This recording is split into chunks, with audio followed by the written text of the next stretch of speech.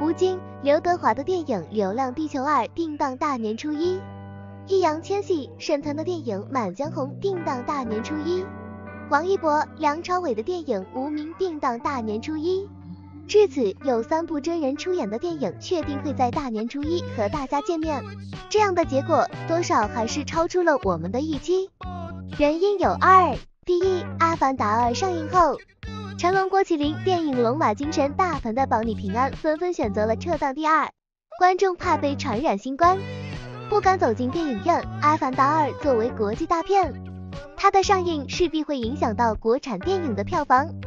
站在商业角度，成龙、大鹏选择撤档在情理之中。十二月中旬，中国防疫政策打开，所有人进出电影院不需要查看核酸、行程码以及立马，看上去程序少了。但那些还没有阳过的小伙伴却不敢走进电影院，理由很简单，怕被传染。于是问题来了，《阿凡达二》还没有下映。新冠也没有结束，为什么吴京、易烊千玺、王一博电影陆续定档大年初一呢？他们不怕票房低？这一切还要从近日的院线表现说起。十二月三十一日，院线单日票房超过了二点五亿，创下了十月三日以来院线电影单日票房的新高。《阿凡达二》《想见你》《绝望主夫》等电影都拿到了不错的上座率和单日票房，尤其是《阿凡达二》。它以百分之三十一点二的排片拿到了一点零七亿票房，顺利超过了首映日的百分之七十九排片一点二六亿票房。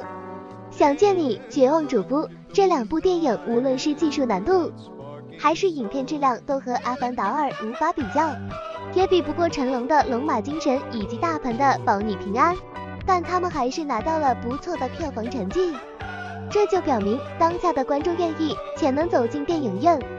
他们已经不怕被传染了。从客观事实来看，当下全中国超过百分之八十的人得过新冠，且已经阳康了。他们不存在无法走进电影院的难题。贺岁档一直都是大片青睐的档期，因为中国人对春节是有情怀的。在这个假期里，他们想带着家人走进电影院看一部期待已久的影片。因此，只要观众不害怕走进电影院，他们一定会选择在贺岁档上映，所以吴京、易烊千玺、王一博电影陆续定档大年初一，这只是开始，而不是结束。我相信陆续还会有国产大片宣布定档，属于院线的春天真的来了。梁朝伟、王一博无名定档海报。